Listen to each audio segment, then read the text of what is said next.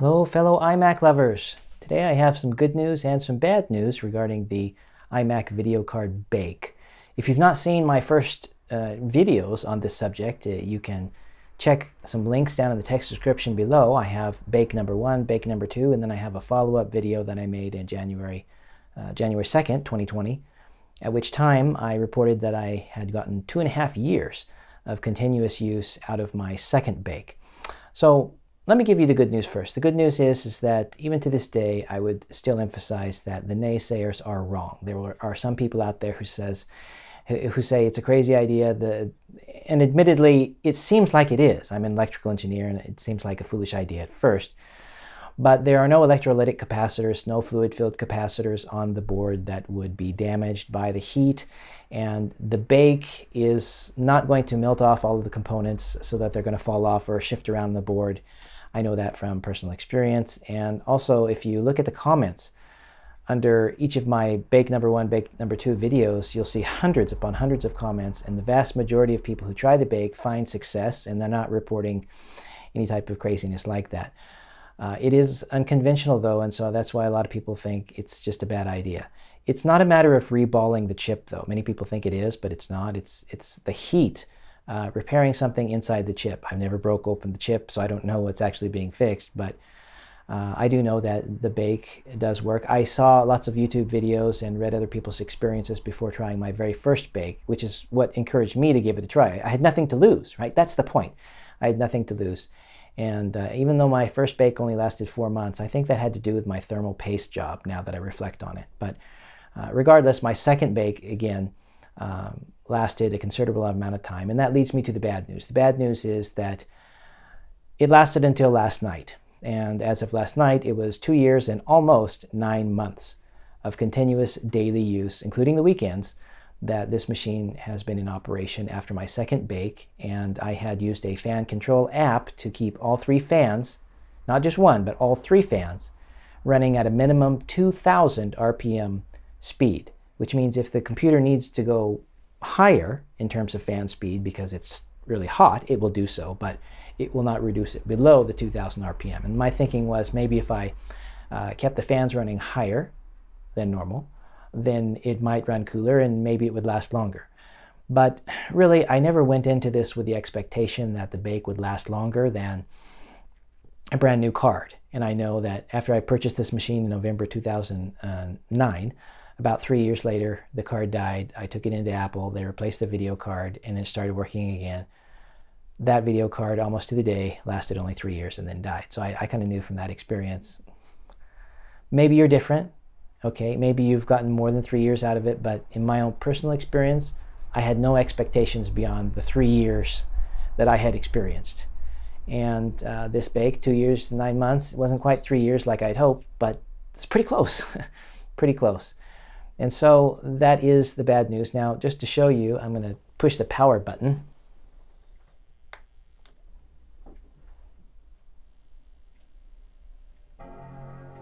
You hear the startup bong, right? But you see nothing on the screen.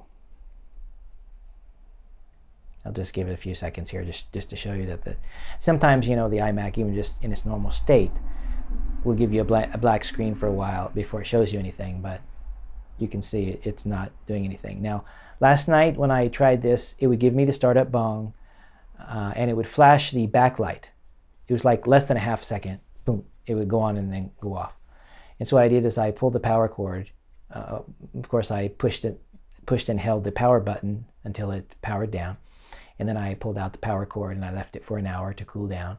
I plugged in the power cord. And when you plug in the power cord, it, it will automatically try to boot. So I could hear the startup chime and that time, the backlight came on for a few seconds, but then turned off.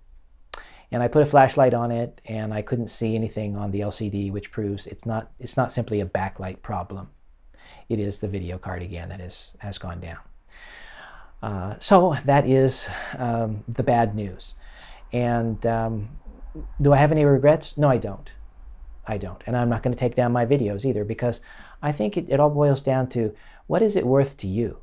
Chances are if you're watching this video and if you've especially if you've watched my other two videos Um, you're probably not fabulously wealthy. if you were fabulously wealthy, you would probably have already purchased a brand new uh, 2020 iMac by now. Maybe even if you're that wealthy, you might have an iMac Pro or even, goodness gracious, the, the top end $50,000 Mac Pro, right? Um, but chances are you're not in that category. So you're here to more economically find a way to resolve the problem. And you know that taking it into Apple isn't going to work anymore because it's obsolete. They don't have the parts anymore. And then getting on eBay with all the sharks there, right? Trying to get as much money out, out of you as they possibly can. You're going to be paying hundreds of dollars for a replacement card. And you know from my other videos and what I've just said, even a brand new card probably isn't going to last you more than three years. So is it really worth to pay all those hundreds of dollars for a replacement card? My opinion, no. No, it's not, especially since those cards are not brand new either. So they probably wouldn't even last you two years, my guess. Um, by the way, this uh, affliction, I guess I could say, uh, is plaguing the 2009 27 inch iMac, the 2010 and 2011 models. I've also received some replies in the comments to say that some people baked their 2008 model iMac's video card and it worked for them. I've also had some people say it works for the 21.5 inch version as well. But uh, from 2012 and onward, you're not able to remove the video card. So, uh, and also, also those newer video cards don't have this problem anyway, so it doesn't matter. So these are, this bake really applies to older model iMacs. Uh, but don't let my first bake video title fool you. It's not exclusive to the 2009 27 inch only. So about 2008 through 2011, 21.5 inch to the 27 inch, uh, the bake will apply. Now, this video, what I want to do with this video is just to report what I've just reported, uh, that the bake lasted only two years and about nine months. But I also am going to bake the video card again because, uh, like you, I'm not in a good financial position now, and uh, I'll spare you all the details of that. But uh, this is our family computer. We have other computers, thankfully. Uh, my wife has her iPhone to fall back on to do her email. Uh, my children have 2017 uh, edition uh, MacBook Airs that they can continue to do their homework on. And I have a mid 2015 15 inch MacBook Pro, which I use to edit all my YouTube videos on. So we have those machines to fall back on, but uh, still, this is a very, very widely used by my family computer. And uh, if I was in a better financial position, I might be willing to consider buying a new one because it has its advantages in terms of performance. Believe me, it does. But um, I'm going to bake it again. And, you know, even if you're even if you're rich, you still might not want to throw these machines away it still might be a benefit to you to fix it up. Maybe you want to fix it up to give it away to someone. Obviously, you, you, wouldn't be really a true friend to give them a broken machine, right? So you want to fix it up. And the bake uh, is one way to do that. And I think it's, it's a good way to do it. So what I'm going to do in this video is not remake my first bake or second bake videos because even though I could probably do a lot better job of it now, I, I don't want to um, make this video too, too long. So I'm just going to show you bits and pieces. For example, how dusty and dirty the internals are. Since I use the, the fan app to run the fans at 2000 RPM constantly, as long as the machine was on, um, I'm guessing there's probably more dust bunnies inside than there was uh, the last time I opened it two years and nine months ago. I'm going to show you that. And I'm not going to show you all of the disassembly details because my other two videos show that in detail. But I will show you the K4 and K5 Pro thermal paste how that has fared over the last two years and nine months. I'm, sur- I'm sure that some of you are curious. Has it hardened like a rock? Is it still liquidy? And uh, I'm curious myself. So we'll take a look at that. And then once I get it baked and all put back together, we're to, I'll have the video camera rolling and um, we'll see if a third bake works or not. So let's get started. Here are all the dust bunnies in the circular vent just above the power cord.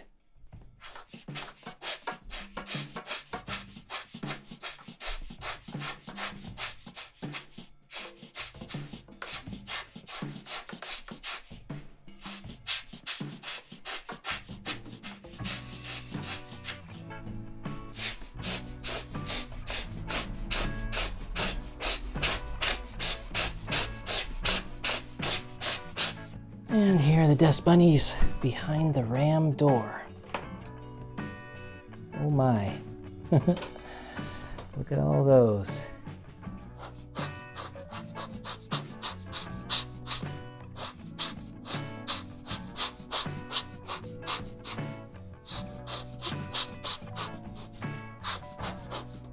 Well, here it is with the screen removed.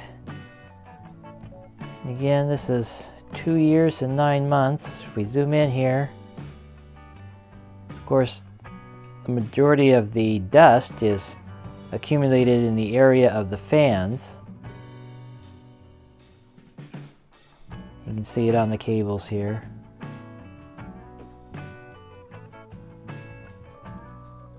Some dust bunnies there. Remember there's a fan in the middle. And the other fan is over here. So the fans need a good blowing. But it's not as bad as I thought. It looks, well, fairly clean up top. The SSD is there. I don't see any dust bunnies in that area. And remember I had all three fans blowing.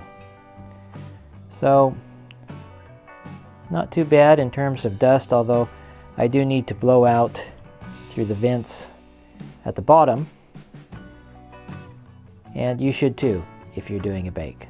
Here's the video card removed. I haven't disassembled them yet. I just wanted to show you from the side how the paste looks. You can still see the th thermal pads are making excellent contact there. You see the white color in there.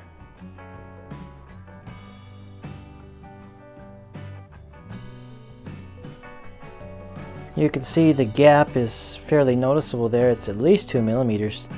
And this, uh, this thermal pad is, is closing the gap. It's, I didn't put quite as much on that one it seems, but it's still making contact with the heatsink.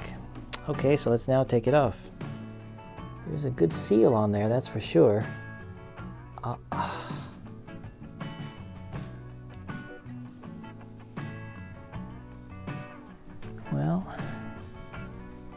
you can see that if I touch it,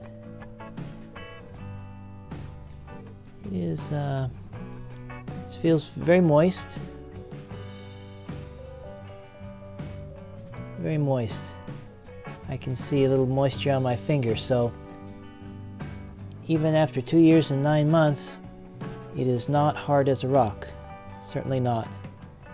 And it looks like it, you can see the indentations there. Little bit of cracks in there, but for the most part it seems like it did its job well. And here is the card. So you can see there's some spillover, but it's not electrically conductive, so it doesn't matter.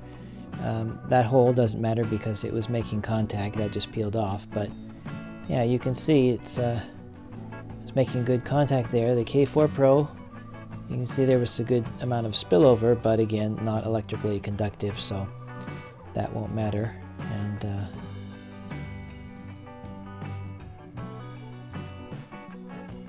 the K4 Pro, again, it's it's not hard as well. It's it's firmed up quite a bit but I can still feel a lot of moisture in it. So I'm going to clean it off and bake it. Here is the cleaned off card and heatsink after my bake. It's all ready for the paste. I still have my K5 Pro and K4 Pro from two years and nine months ago, but especially for the GPU chip, you're really not supposed to use old thermal paste. Probably the manufacturers say more than a year they don't want you to use it. They probably want to say that so that you buy you buy new paste, but there's some logic behind it.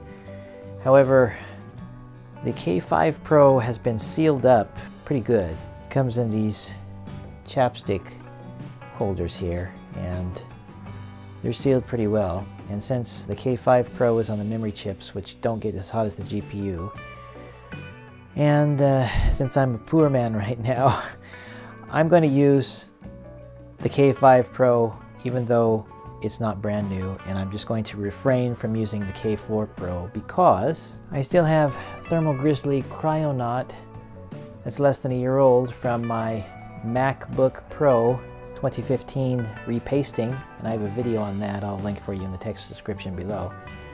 So this is still fairly new and it's also the best non-electrically conductive thermal paste you can buy. So I'm going to put this on the GPU. And here's the application of K5 Pro on the memory chips and Thermal Grizzly Kryonaut in the X pattern on the GPU. Okay, it's mostly reassembled all except for the front glass and uh, now I'm going to switch on power and see what happens.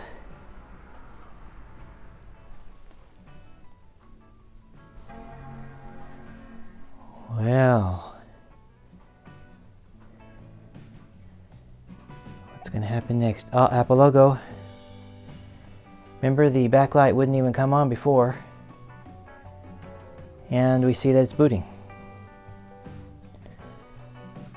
So of course I'm going to still do some more testing, but it looks like a third bake has worked. It's taking a little time to boot here, but that's typical for this machine.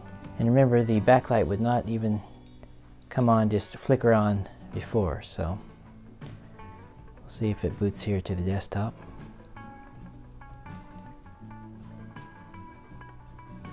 And it looks like it's going to go.